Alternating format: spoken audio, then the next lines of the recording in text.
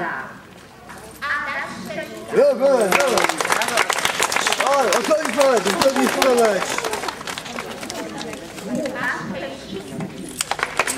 Nie ma, nie ma tej siły, nie widzę.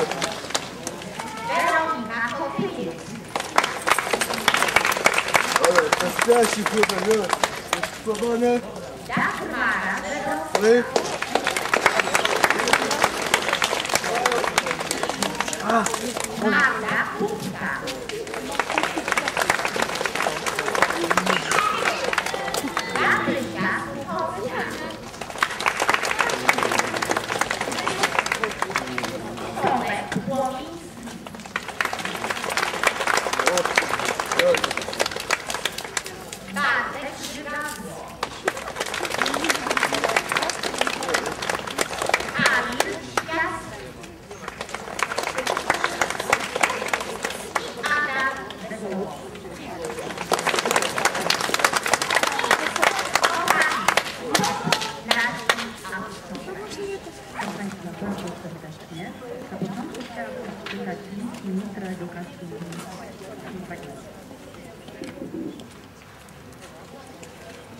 Państwo, koleżanki i koledzy, szkoła nie mogłaby istnieć bez zaangażowanych w swoją pracę nauczycieli i dyrektorów.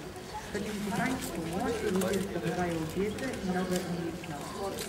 Poznają bogactwo otaczającego nas świata. Pod Państwa opieką uczniowie kształtują swoje charaktery, mierzą się z przeciwnościami, przeciw- przezwyciężają własne ograniczenia. Czerpią naukę z ewentualnych niepowodzeń. Znam doskonale trud i specyfikę pracy nauczyciela. 20 lat pracowałem. Wiem, że do Państwa obowiązków dla Państwa obowiązków nie da się zamknąć w kilku godzinach lekcyjnych. Zdaję sobie sprawę, jak wiele czasu pochłania przygotowanie do zajęć i sprawdzenie.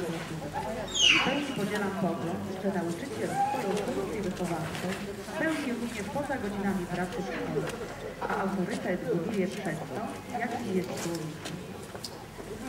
Szanowni Państwo, konsekwentnie realizujemy postanowienia, które zostały wypracowane podczas negocjacji prowadzonych z nauczycielskimi związkami zawodowymi. Pragnę wyraźnie podkreślić, że porozumienie podpisane 7 kwietnia 2019 roku przez stronę rządową obejmuje wszystkich nauczycieli niezależnie od. To nowe rozwiązanie, które przełoży się na poprawę warunków pracy i zdrowia nauczycieli. Przypomnę również, że w wyniku roku prowadzonej dyskusji z pewnymi związkami zawodowymi przyjęliśmy awansu zawodowego i wróciliśmy do oceny pracy sprzed września 2018 roku. Ja przeczytam fragmenty, takie najważniejsze tego. Przed Państwem czas, trochę podsumować. Przed Państwem czas letniego wypoczynku. Czas wytchnienia od codziennych obowiązków. Życzę wszystkim spokoju, wyciszenia, jak najwięcej chwili spędzonej w gronie rodziny i najbliższych. Mam nadzieję, że nadchodzący czas pozwoli odnaleźć inspirację oraz entuzjazm do podejmowania kolejnych wyzwań edukacyjno-wychowawczych. Spokojnych, bezpiecznych wakacji z wyrazami szacunku Dariusz Piotrkowski, minister edukacji narodowej.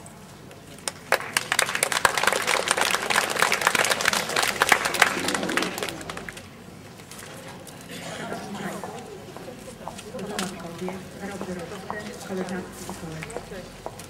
Za nami rok wytężonej pracy. Czas wielu doświadczeń, przeżyć, osobistych sukcesów. Gratuluję Wam wszystkim. Tym bardziej, że rok ten rokiem był wyjątkowy. Po raz pierwszy od- odbył się egzamin ósmoklasisty, a po rok ostatni gimnazjalny. Żegnamy uczniów gimnazjum. Byliście ostatnimi gimnazjalistami w naszej szkole. Należy również zapominać o trudnych momentach, takich jak strajk nauczycieli i innych pracowników oświaty. Ale były również wspaniałe chwile. Wspólne śpiewanie hymnu, czy też wspaniała zabawa rodzinie. Drodzy rodzice, drogie dzieci, koleżanki i koledzy, pragnę Wam serdecznie podziękować za dotychczasową pracę. Uczniom za trud, wysiłek włożony w zdobywanie nowych doświadczeń, za każde miłe słowo, za uśmiech, za, gesty pełne sympatii. To, że jesteście. Rodzicom za zrozumienie, za współpracę, za zaufanie. Koleżankom i kolegom, nauczycielom i pracownikom obsługi pragnę podziękować za wsparcie, za cenne uwagi, za Waszą ciężką, codzienną pracę.